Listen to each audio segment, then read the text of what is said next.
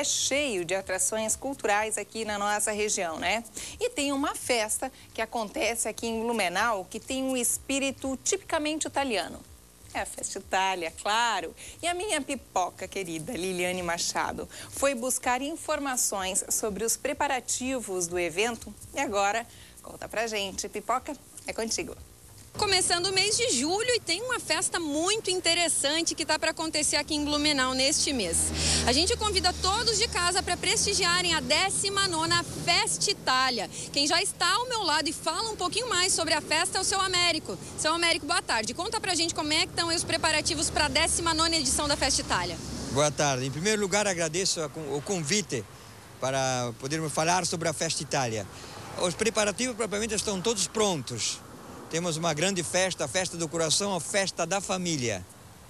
E muitas atrações musicais também, muitas né? atrações musicais como é, Mafalda Minossi, é, Luciano Bruno, Tony Angeli, Deco Dal Ponte, é, Fred Rovella de São Paulo, a Italianíssima de São Paulo.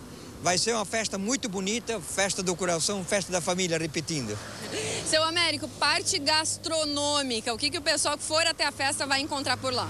Vai encontrar propriamente tudo que os italianos gostam.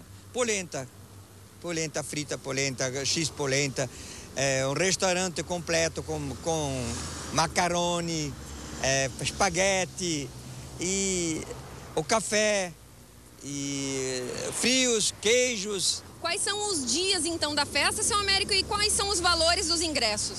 Os dias é 13, é sexta-feira, 13 de julho, 13 a 22.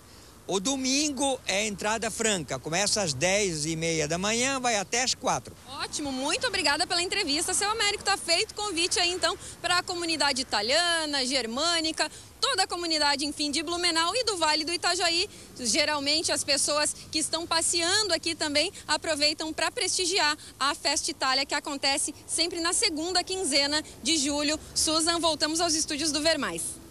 Maravilha, sexta-feira 13, mas sexta-feira 13 sempre dizem que é dia de sorte. Né?